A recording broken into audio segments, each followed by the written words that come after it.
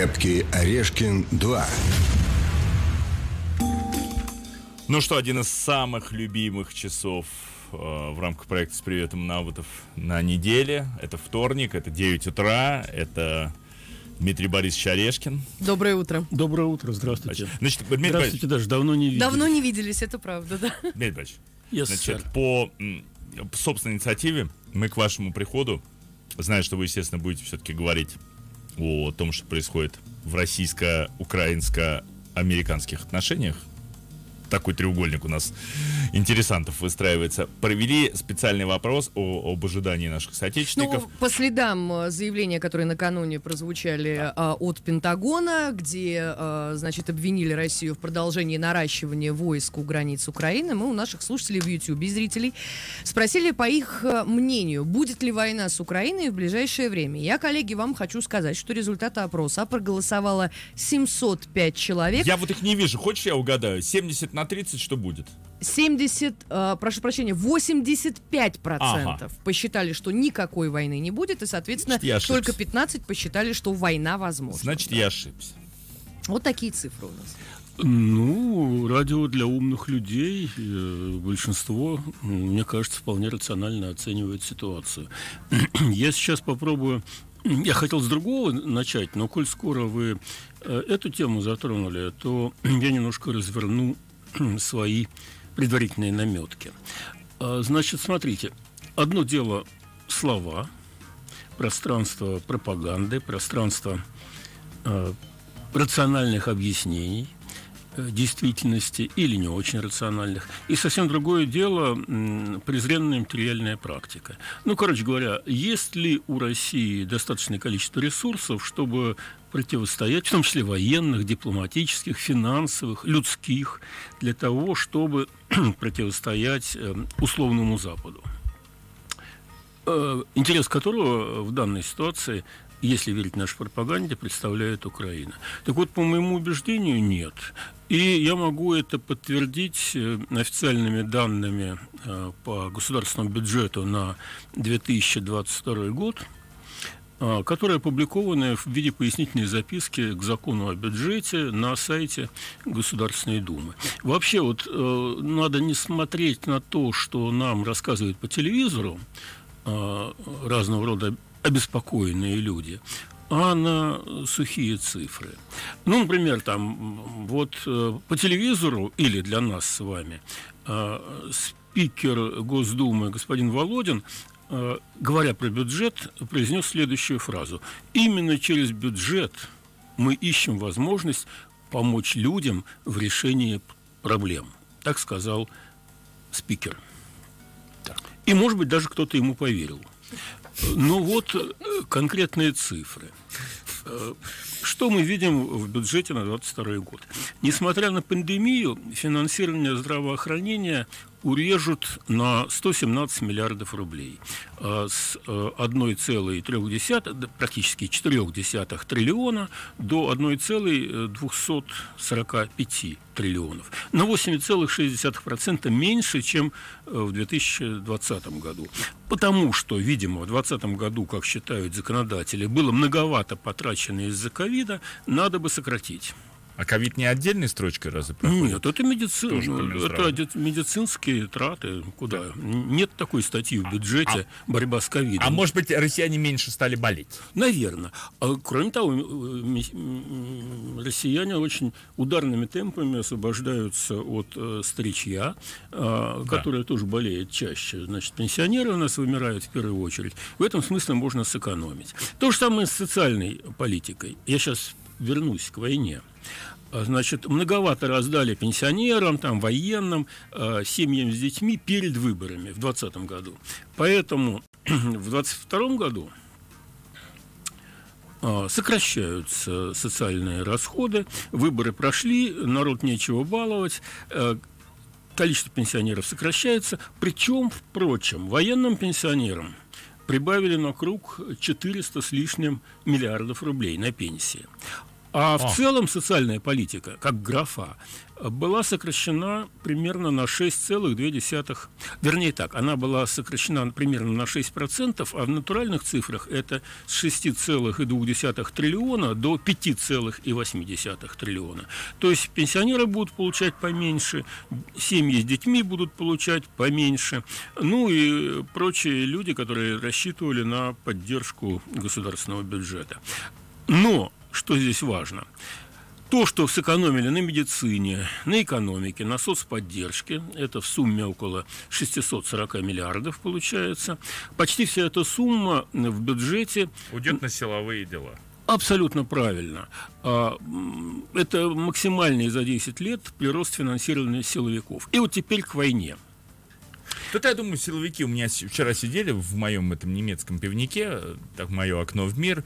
Я там много полицейских, э, следаков, такие, и, во, и вояки периодически сидели. За Владимир Владимировича трикратное вам. А, ну видишь, Многие уже в хламину.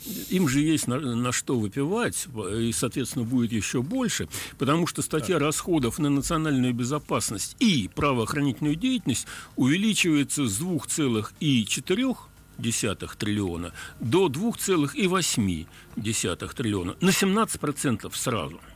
Такого мы не видели с 2012 года, когда силовиков начали срочно подкармливать после болотной. При этом вот это самое важное применительно к войне. Ассигнования на национальную оборону тоже выросли на 129 миллиардов.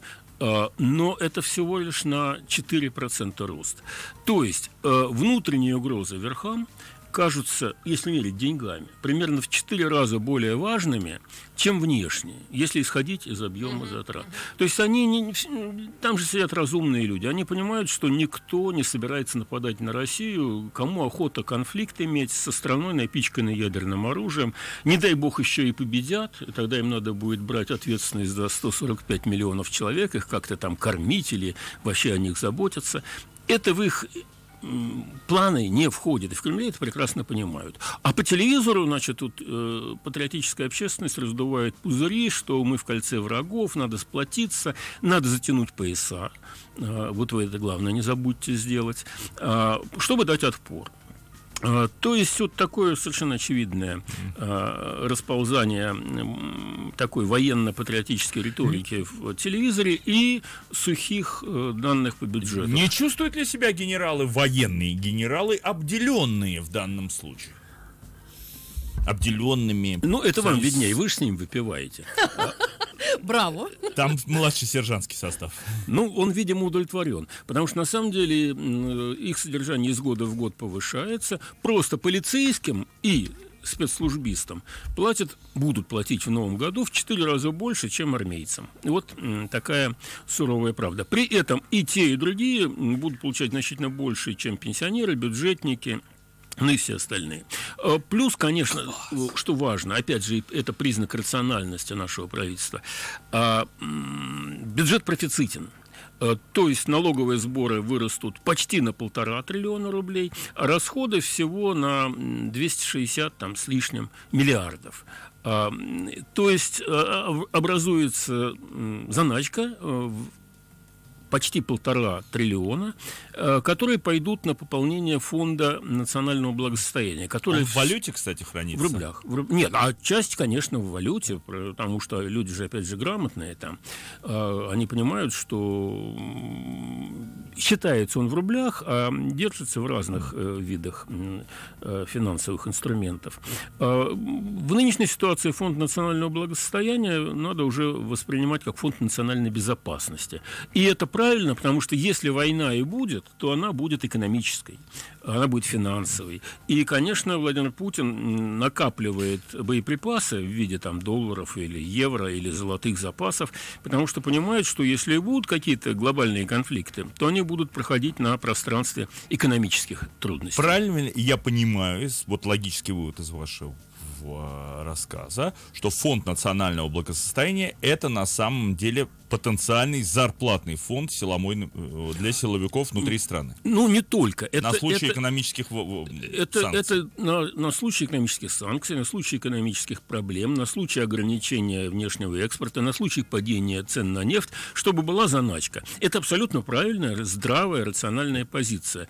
Э, но э, они, опять же, радикально расходятся с тем, о чем нам говорят. Нам говорят, что проблема в стратегических авианосцах, в танках, в, в том, что вокруг враги, а, а в, в действительности готовятся к экономическим трудностям, естественно, за счет населения. То есть э, социальные выплаты сокращаются, а вот э, наращивание этого, э, этой заначки, прокладки, на всякий случай, идет ускоренными темпами. В общем, это довольно грамотно, но обидно то, как э, все это представляется народонаселению. Народонаселение все это глотает, а потом удивляется э, цифрам инфляции, который, кстати говоря, тоже официально опубликован Росстатом, Росстатом согласно которым у большинства нашего населения доходы месячные в пересчете на душу составляют около 30 тысяч рублей в месяц, не больше – а при этом за год цены там на говядину выросли на 15%, на курятину на 31%, яйца подорожали на 27%, капуста поставила рекорд, э, подбирается к отметке двухкратного роста по сравнению с прошлым годом. Ну и картошка тоже. Ну, естественно, Морковка. картошка у нас не растет, в стране э, тяжелые климатические условия, морковка тоже не растет, про капусту я уж не говорю. А что бананы подешевели? Вот. Вот это, это как раз самая большая радость. Бананы подешевели. Будем питаться бананами. В целом продуктовая корзина официальная Росстата подорожала на 11%, а годовая инфляция, по данным Росстата, составляет 8%. Есть 7, разница. 7,5, я слышал. Ну, ожидают 8 к концу ага. года. А, значит, э, темпы роста цен на продукты рекордные с 2015 года. А, и для семей, конечно, цены на продукты гораздо болезненнее, чем там цены на гаджеты гаджеты меняются там раз в несколько лет, а продукты ты каждый день покупаешь. Поэтому такое вот семейное ощущение инфляции, оно минимум в два раза выше, чем официальное измерение. Нам говорят, что ну, к концу года 8% это общий показатель инфляции, официальный, а в наше с вами восприятие через свой карман ну, минимум на 15% подскочили. А, это не беда. Э, просто могли бы более, скажем так, э, адекватно и честно про это рассказывать. Но не могут, потому что нам надо рассказывать про то, какая эффективная вертикаль и про то, как мы дружно поднимаемся с колен. Должен сказать, что э, не все так плохо. По сравнению с другими странами у нас еще может быть даже и ничего. Потому что, например, в Иране значительно хуже ситуация. Об этом тоже никто не говорит, а там сейчас, вот буквально в эти дни, разгорается очень тяжелый водный кризис. Давно предсказанный, поэтому еще более поучительный. Э, там людям заниматься политикой запрещено в еще большей степени, чем у нас. Ну, и, значит, политика занимается людьми, соответственно, коли они ей не занимаются, причем в самом таком неожиданном облачении. Ну, в данном случае в экологии. Главное, одна из главных рек Персии, Заян-река, полностью пересохла. И третий город Ирана, Исфахан, вообще остался без речной воды. Там есть скважины, конечно, то есть пить mm-hmm. есть что, но русло реки сухое. И на этом русле тысячи протестующих требуют вернуть им речку. Ну, там, естественно... Со а стороны... речку украли западные сволочи? Но, ну, к сожалению, у них нет вот этой замечательной, все, все объясняющей формулы, которая нам с вами знакома, что если в кране нет воды, то мы знаем, кто ее выпил. Да, да, да, в Иране бы это сработало замечательно, но они, у них э, другой язык, поэтому у них рифмы другие. другие. Значит, довольно трудно обвинить Израиль в том, что он выпил эту самую Заян-реку, а так бы, конечно, смогли. Ну, народ протестует, народ требует э, вернуть украденную реку, не очень понятно от кого. Информация информация оттуда просачивается скучно, журналистов э, не пускают. Похоже, что пик кризиса был где-то 19-20 ноября. Тысячи человек был на улице, их там обстреливали, газом разгоняли, все как надо. А, разогнали. И теперь руководство страны рассылает очень характерные смс своим гражданам. Я процитирую.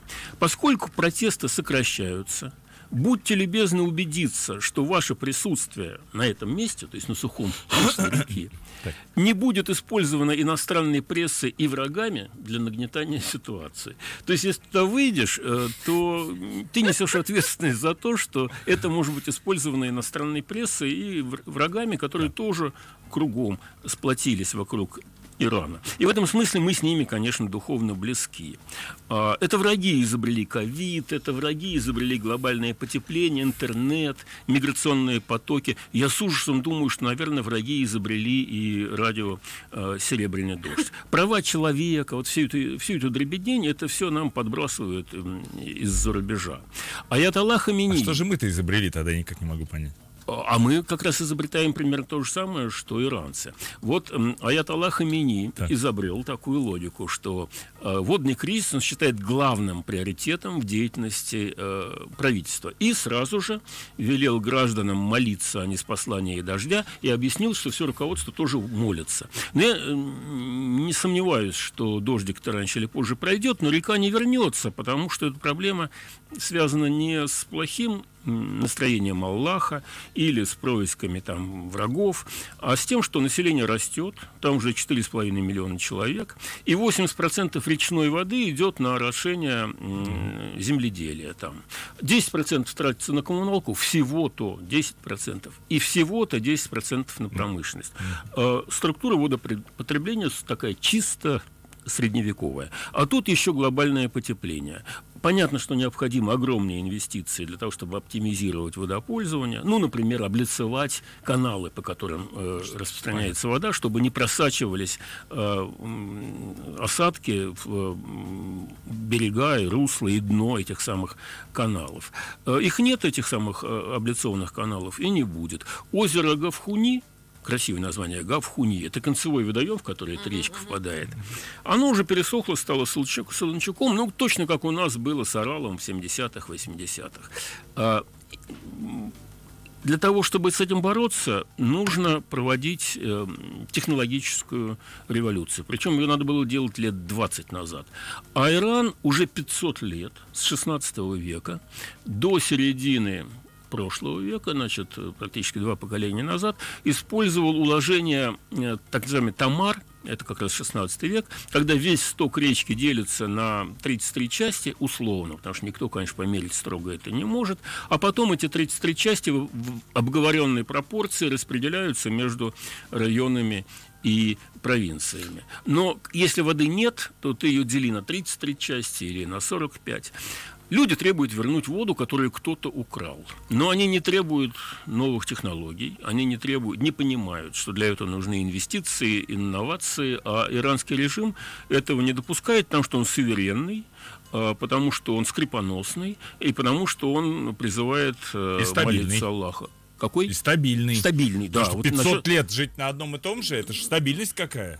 Ну да. Значит, э, какой сухой остаток, э, извините за дурную игру слов. Люди, массы, хотят, чтобы за их неготовность, неспособность, неумение эволюционировать платили те, кто к эволюции приспособлен. А, но это очень обычная история. Точно так же вот революционные студенты под гром речей господина Хамейни в 80-х годах свергли гнилой шахский режим и вернули страну ну, 70, ну, укрепились они, начиная с 80-го года. А, ввергли страну вполне такое средневековое, высокодуховное, скрепное варварство. Антизападническое, симпатизирующее Путину, кстати, а, и вполне взаимно. То есть, слава богу, нам с Ираном есть вместе а, с кем дружить и против кого дружить.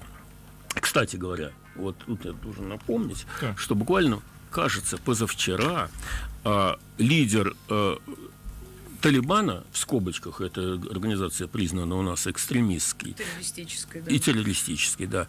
Забихулла Муджахид э, в интервью издания «Октагон» объяснил, что он поддерживает людей, которые живут в Крыму, считает, что они имеют право голоса, и поэтому, раз они хотят жить в России, то пусть они живут в России. Это было с радостью все процитировано, потому что, ну, наконец-то нас, нас уже есть... поддержали и Талибан. То есть можно сказать, что Талибан признал Крым? В некотором смысле, да. Он так, ну, в общем пока никто не признал Талибан, ни одно государство. Еще, по-моему, в, ну, то ли в Вануату, то ли в, в Ануну, я не знаю, кто-то еще, какая-то важная, какая-то важная страна признала э, Крым э, российским. И это было с радостью процитировано. В большинстве случаев они, э, патриотические средства массовой информации, напоминали, что Талибан у нас считается террористической организацией, но в некоторых забывали про это сказать, потому что теперь Талибан, в общем, правильный, он теперь делается нашим э, партнером. Ну, вот смотрите, э, Никарагуа, Венесуэла, Сирия, Куба, Северная Корея, Судан и Палестина. Вот теперь еще Теперь, Талибан. получается, и Афганистан даже, наверное, можно Да. говорить. А, Так что с этим все хорошо. А, Я хотел бы теперь еще пару слов сказать. А, у меня- тут куча новостей, даже не знаю, э, с чего начать. Ну вот важно, например, возвращаясь к, к финансам, а, отметить э, незамеченную большинством войну арендаторов и арендодателей. А Пятерочка, в которой многие отовариваются, магазин Пятерочка, отказывается платить повышенные цены за аренду. Э, Ну, то есть вот эти большие сетевые магазины, они снимают, э, арендуют помещения в хороших выигрышных местах.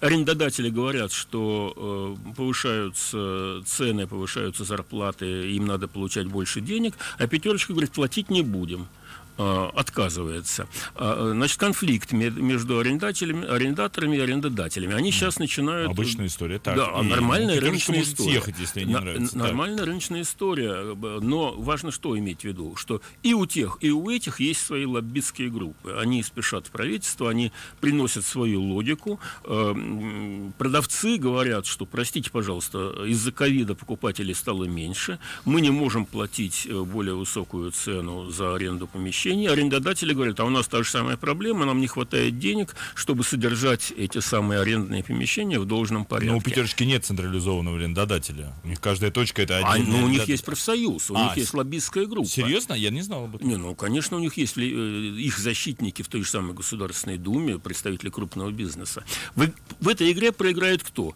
Потребитель. Мы с вами, потому что у нас э, групп влияния нет. У нас нет весовой категории. Нам тяжело э, с ними э, мериться. А у них есть. Они, значит, начинают эту самую э, игру, э, кто кого сб- сборит. Это, в общем, нормально. Но если выиграет пятерочка, тогда выиграем и мы. А если выиграют арендодатели, то, соответственно, повышение арендных платы будет включено в конечную стоимость продуктов, которые мы покупаем. Тогда мы проиграем. А здесь мы и так, и так проиграем. Значит, цены так и Согласен, так, цены так и так так, и вырастут. так, и так Сог- повысятся. Полностью согласен. Значит, э, то, что с экономикой неважные дела, Хотя она м, понем- в этом году она чувствует себя лучше, чем в прошлом, э, потому что казалось, что ковид мы победили, появились признаки роста и больше денег соберем в качестве налоговых поступлений. Это позитивная составляющая. Но, э, тем не менее, у правительства, например, явно не хватает денег на то, чтобы содержать упадочные, дистрофичные моногорода в стране. А В связи с этим Министерство экономики э, планирует уменьшить число моногра- моногородов практически вдвое. Что значит уменьшить? Убрать их из списка. Никуда же они не денутся на практике. Они будут э, существовать, как и раньше существовали. Порядка- их- вычеркиваем. Ну да, именно, да. Их несколько лет назад было порядка 600, сейчас, по-моему, 200. с- Нет, сейчас 321 300 с чем-то, да. в списке. А теперь их число приглаш- э, предлагают сократить до 63 росчерком пера. По какому принципу? Если этот моногород расположен не дальше, чем в 50 километрах от регионального центра, то он не, не является моногородом, потому что если человек потерял работу, он может сесть Ну, на может, электричку да, при- поехать туда приехать в работать, город. да. Да. Все, значит, соответственно, из списка вычеркиваем. Мы тебя посчитали и вычеркиваем. Ну, например, это Тутаев При- Ярославской области, там Благовещенск, Башкирии, или там Фантастика. Верхняя Фантастика. Пышма. Как, как, как, од- действительно, как один, од- од- Вот ты никогда один не жест догадался и, и такая серьезнейшая для страны проблема решена, ну, практически решена. Ребят, я в много, жителей моногородов, где нас слышно, я поздравляю вас. Ну, в общем, это будет делаться, конечно, аккуратно. Кроме этого, это только законопроект. Еще в Думе там, опять же, схлестнуться. Есть силы, которые этому сопротивляются, потому что эти моногорода, они же не просто моно, они, как правило, завязаны на оборонку. Это ведь наследие советской эпохи, когда был оборонный завод, и рядом с ним спальный цех. Да-да-да.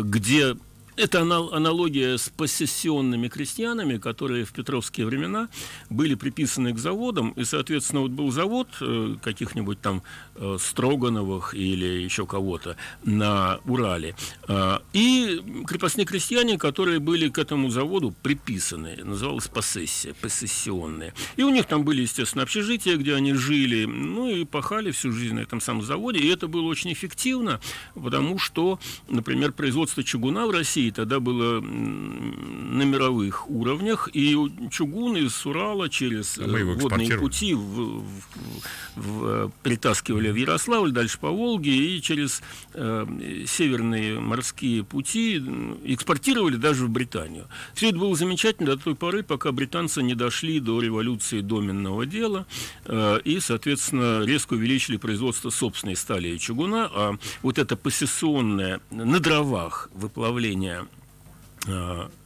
чугуна. э, на Урале оказалось неконкурентоспособным.